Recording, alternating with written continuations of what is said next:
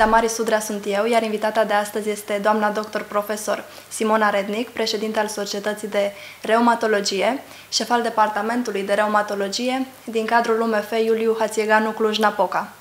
Doamna profesor, mă simt onorată și vă mulțumesc foarte mult că suntem împreună. Mulțumesc și eu pentru invitație. Contextul este unul uh, deosebit, potrivit, științific, Craiova Connects, care reunește anul acesta specialități de seamă, printre care reumatologia. Câteva impresii în prima zi de congres. În primul rând, uh, ideea de conectivitate și de ceea ce se cheamă conexiuni e foarte valoroasă pentru reumatologie. Reumatologia e o specialitate multidisciplinară și practic e inevitabil să nu colaborăm cu alte specialități. Poate sunt specialități care n-au așa de mare nevoie de colaborare cu altele, dar reumatologia este categoric uh, una dintre ele. De altfel, și eu organizez la Cluj, deja anul acesta a fost al 16-lea an, o manifestare care se numește Interferențe în reumatologie, și care se referă tocmai la uh, interferențele cu alte specialități. Pentru că ideea de conexiune e extrem de importantă în, în medicină în general și în viața noastră a tuturor. Deci impresia e bună pentru că a fi mulți de multe specialități și din multe centre la un loc și reprezentând toate universitățile mari din țară este extrem de important. Sunteți un speaker experimentat, despre ce veți vorbi? Ce temă veți aduce înaintea colegilor, colegilor medici anul acesta? Anul acesta am să vorbesc despre lupus, care e o boală prin excelență multidisciplinară, uh, care are foarte multe fețe, se tot vorbește despre boala cu o mie de fețe, se vorbește despre multe boli cum ca o mie de fețe, dar lupusul chiar are foarte multe Uh, foarte multe fețe, pentru că de la bun început un pacient cu lupus nu seamănă cu altul și manifestările sunt extrem de, extrem de multe. Pe de altă parte, în lupus s-au întâmplat în ultimii ani progrese uimitoare din punct de vedere terapeutic, lucrurile au pornit mai greu în lupus, pentru că fiind o boală așa de complicată și așa de complexă și cu așa de multe manifestări, uh, nu e ușor să găsești, să găsești căile și terapiile care să influențeze toate aceste lucruri. Dar realmente începe să se vadă lumină. În ultimii 4-5 ani au apărut, uh, au apărut nu neapărat preparate noi, deși avem și preparate noi, ci idei de cum anume și strategii terapeutice de cum ar trebui să tratăm lupusul și realmente lucrurile stau mult mai bine acum, prin urmare mă bucur să vorbesc despre acest subiect. Foarte interesant, cu siguranță voi fi în sală. Da. Ce este particular reumatologiei dintre cele șase specialități conectate acum? Reumatologia are acest, cum le spun întotdeauna studenților mei, uh, mă rog, asta poate e convingerea mea, reumatologia e cea mai frumoasă și mai multilaterală dintre specialități, tocmai prin această conexiune cu alte specialități, pentru că ne ocupăm de uh, de bolile uh, multisistemice, de colagenoze, de vasculite, care au așa de multe manifestări, un reumatolog trebuie să știe pneumologie, trebuie să știe nefrologie, trebuie să știe dermatologie și în plus această căutare a semnelor, găsirea semnelor, observare și mai ales adunare împreună într-un singur diagnostic, uh, cred că e special pentru reumatologie. Tot așa cum le spun și studenților mei, E o specialitate în care e greu să-ți imaginezi o altă specialitate în care cineva vine fără să aibă afectarea organului respectiv. La noi sunt, vin pacienți care n-au neapărat afectare articulară sau musculoscheletală. Sunt pacienți cu vasculite care n-au artrite, ci au doar afectare orele și nefrologică, de exemplu, ceea ce e aproape de neimaginat în alte specialități în care nu poți merge la oftalmologie fără să ai boală de ochi. Sau. Uh, e un exemplu, dar asta, asta face frumusețea specialității. Ne-am avântat în, uh, în descrierea reumatologiei și poate mulți oameni nu știu exact cu ce se ocupă această specialitate sau mai grav, îmi pare rău să spun asta, mulți cred că reumatologia se ocupă doar cu studiul și tratarea reumatismului, ceea ce este complet greșit. În primul rând, uh, reumatologia e o specialitate, sigur, derivată din medicina internă, e cea mai mică dintre fiicele medicinei interne, e mezinul. Și ca și întotdeauna, mezinul are oarecare probleme de, de așezare în lume. Uh, deci persistă foarte multe confuzii legate de reumatologie și multă lume crede în primul rând că ne ocupăm doar cu dureri de spate sau cu dureri de genunchi, multă lume crede că tratăm doar pacienții vârstnici și multă lume crede că tratăm reumatismul, care e o boală care practic nu există. Eu mi încep prezentarea la studenți, spunându-le dacă, vreți să rămân, dacă vreau să rămâneți cu ceva din reumatologie, este să uitați termenul de reumatism, pentru că termenul de reumatism este unul confuziv, este unul care nu înseamnă nimic, se referă la o singură boală, reumatismul articular acut, care aproape nu mai există. Uh, pe de altă parte, manifestări articulare apar în foarte multe boli care au foarte multe cauze și foarte diferite și prin urmare și extrem de variate ca și terapie, adică la nivelul genunchiului poți să ai de la o artrită care se tratează cu metotrexat, la gută care se tratează cu colchicină și la artroză care se tratează cu fizioterapie și cu infiltrații. Deci diferențele sunt extrem de mari și termenul de reumatism e mai degrabă confuziv. De altfel, ă, cea mai importantă și prima revistă de reumatologie Uh, cea Asociației Americane de Reumatologie a ACR-ului, care se numea până cu câțiva ani Arthritis and Rheumatism și a schimbat numele tocmai din cauza, din cauza faptului că acesta este extrem de confuziv și se cheamă Arthritis and Rheumatology. Prin urmare, ca să revin la întrebarea ta inițială, reumatologia este o specialitate care se ocupă de patologia musculoscheletală și de bolile autoimune sistemice. Deci, uh, tot ce înseamnă afectare la nivelul uh, articulațiilor, mușchilor, tendoanelor și structurilor din jur, plus boli autoimune sistemice. Într-adevăr, am auzit și oameni confundând reumatologia cu ortopedia sau recuperarea. Sau de, cu recuperarea, De unde da. asocierile astea? Uh, din faptul că reumatologia a apărut de mai puțină vreme, e cea mai, e cea mai tânără, că foarte multă vreme în, în peisajul medical românesc existau doar medici de reabilitare, care făceau cumva tradițional și diagnostic reumatologic și care o vreme au încercat să mai facă. Uh, deși reabilitarea este o specialitate care ar trebui să se ocupe de recuperarea unor boli reumatologice, cardiace sau, mă rog, de, de altfel. Deci, confuzia este și nu este doar în populația generală, este inclusiv între colegii noștri, este inclusiv între studenți, de asta eu cel puțin sper ca la, la cursurile mele să clarific măcar aceste lucruri. Vă mulțumesc! Sper că am ați clarificat și ați subliniat lucruri importante cu care să rămână ascultătorii. Uh, bolile reumatismale afectează un număr mare din populație sau, ca să restrâng un pic întrebarea la teritoriul României, sunt afectați mulți români de aceste boli? Ce spun statisticile? Iarăși, întrebarea este dificilă pentru că din start vorbim despre foarte multe boli. Deci, uh, noi ne ocupăm de boli care sunt extrem de frecvente, cum ar fi artroza sau osteoporoza. Dacă ne gândim la artroză, de exemplu, probabil artroza au marea majoritate a pacienților peste 65 de ani, aproape toți. 90% și crește, crește cu vârsta. Deci e o patologie extrem de frecventă, ca și osteoporoza pe care au multe femei, mai ales în postmenopauză uh, și ca și patologia uh, periarticulară, bursite, tendinite, legate de efort, legate de poziție, care iarăși apar la marea majoritate a populației.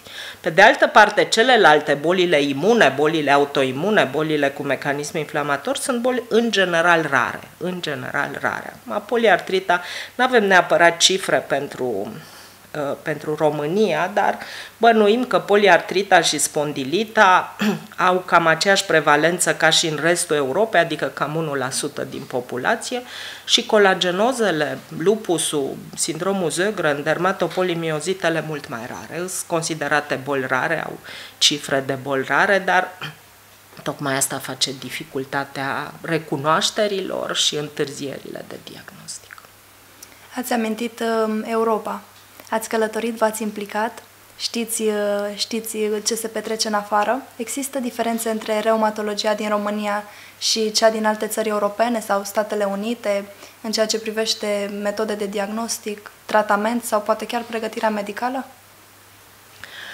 Da, am avut, uh, am stat și am lucrat în Europa, am lucrat în Anglia în urmă cu mai mulți ani și am avut o bursă mai lungă în Italia, prin urmare știu, știu ce se întâmplă și oricum călătoresc des și am colegi și schimburi de experiență. Uh, Uh, n-aș spune, pregătirea, pregătirea reumatologilor nu diferă fundamental, în ultima vreme nu diferă fundamental nici accesul la terapiei, avem aproape toate terapiile prezente și în vest, poate, poate mici nuanțe, poate nu chiar atât de larg ca și în vest, dar practic avem aproape, aproape totul disponibil.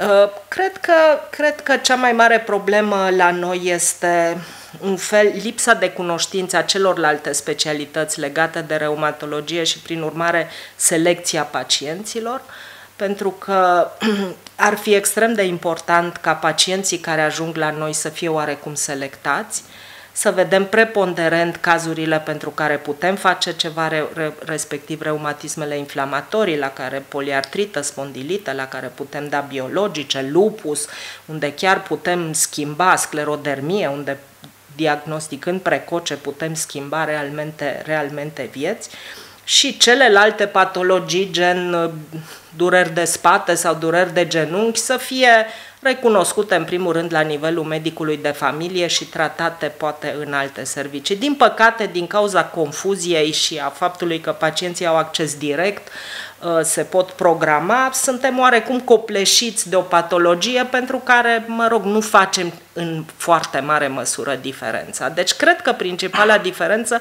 e legată, e legată pe de o parte de felul în care se selectează pacienții, pe de altă parte de numărul specialiștilor, reumatologi încă suntem puțini în România, uh, mult mai puțin decât în alte părți și suntem, uh, nu neapărat puțin, dar suntem foarte rău distribuiți, în sensul că reumatologi sunt în câteva centre universitare, practic sunt la București, la Cluj, la Iași, la Craiova, foarte puțin la Constanța și Timișoara și în rest există județe fără reumatologi, există orașe mari fără reumatologi, ceea ce, ceea ce categoric nu e, nu e bine. În momentul în care doriți să puneți un diagnostic, considerați mai importantă anamneza și examenul clinic obiectiv sau vă bazați mai mult pe investigațiile paraclinice, examen imagistic? Întreb pentru că um, astăzi au devenit cumva inseparabile aceste lucruri și în majoritatea specialităților sunt imposibile unele fără altele. Cum considerați dumneavoastră în reumatologie? Reumatologia e 90% examen clinic, anamneză și examen clinic. Deci, deși avem enorm de multe test, enorm de multă progresie imagistică, în lipsa judecății clinice inițiale care să le solicite, lucrurile sunt mai degrabă confuzive.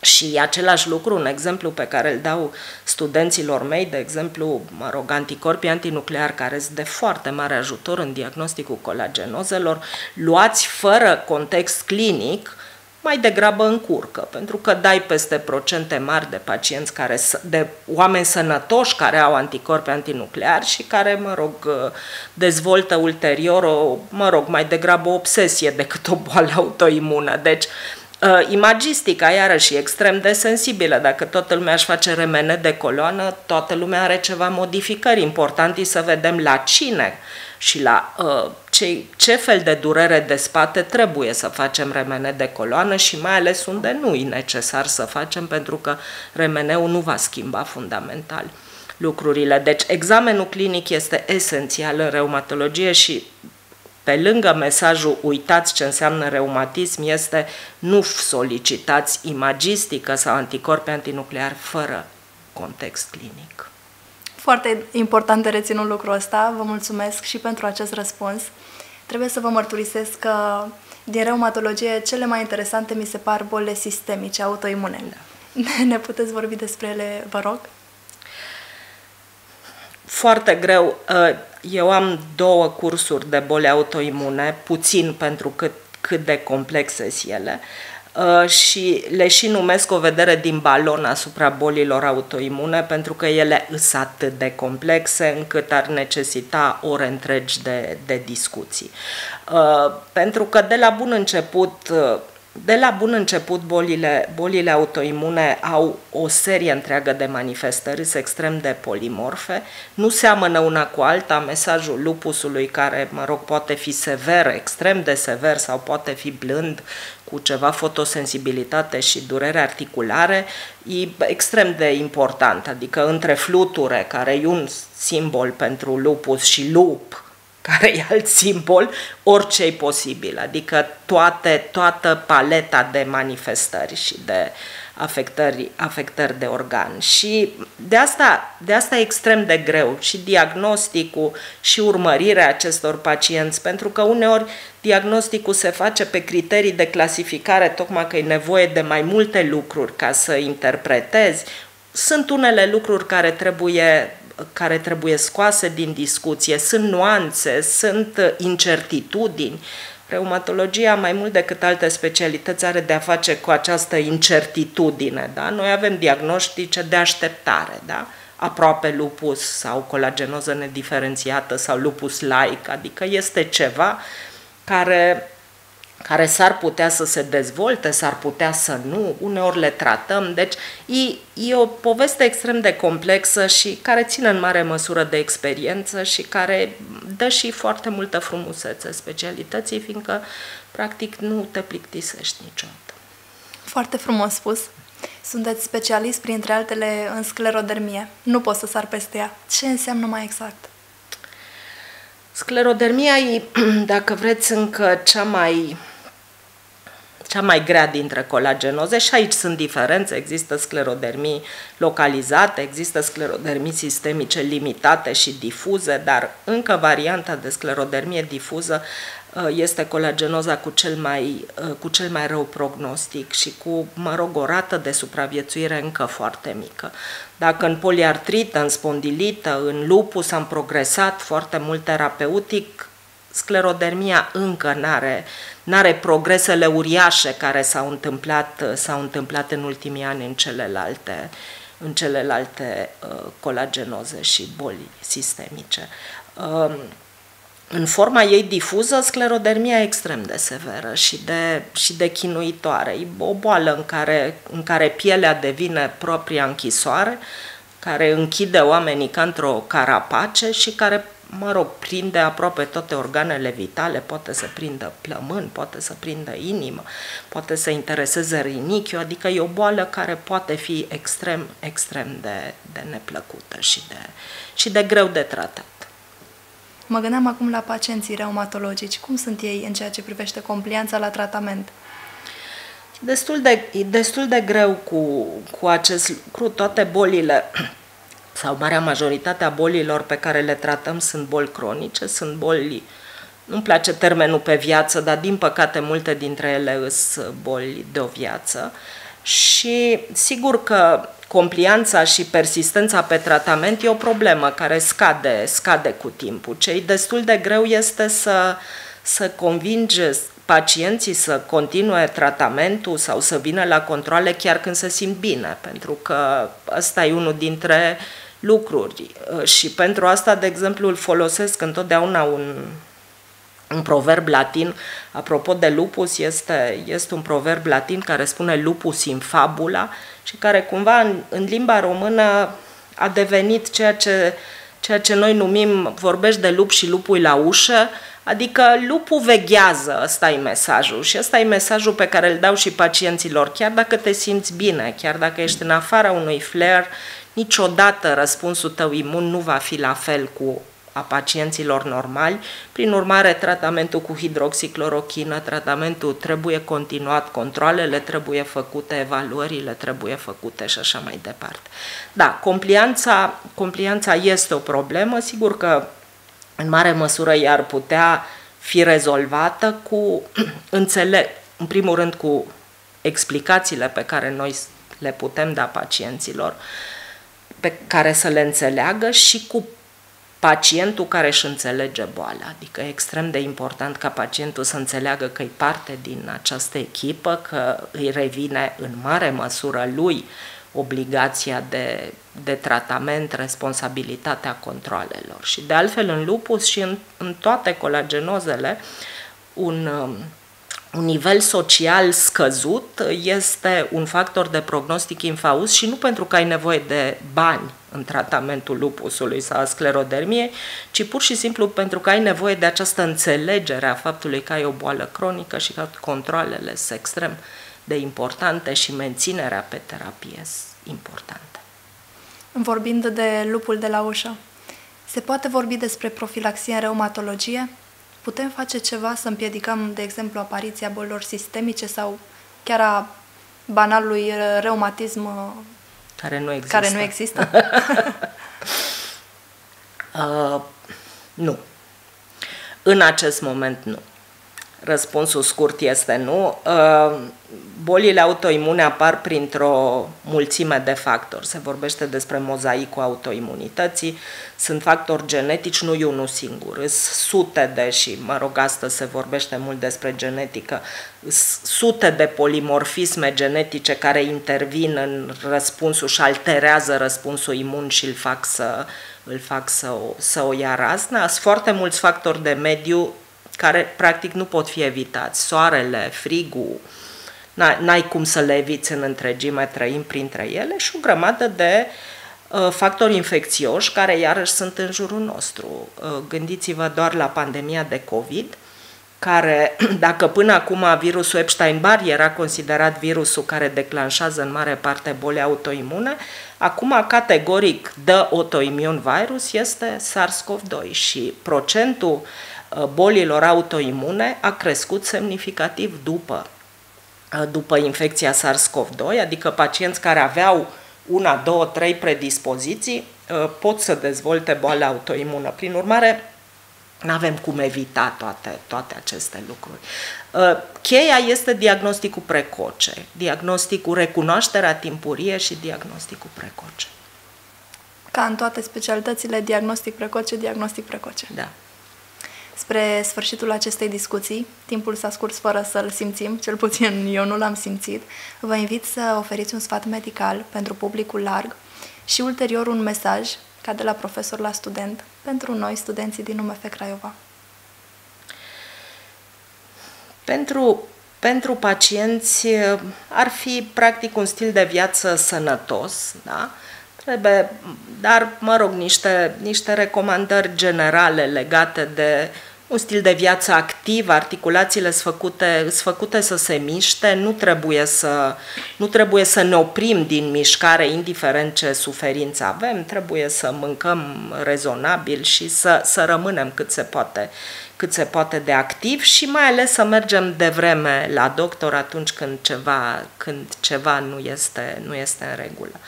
Pentru studenții la medicină, ceea ce le spun și alor mei, uh, reumatologia este cea mai frumoasă dintre specialități. O practic de multă vreme și nu m-am plictisit niciodată de ea. În fiecare zi mi oferă, mi oferă o provocare deosebită și pentru cei care aveți, cum să spun, o predispoziție către gândire analitică, către observație pentru rezolvarea de mistere, reumatologia e o specialitate de ales.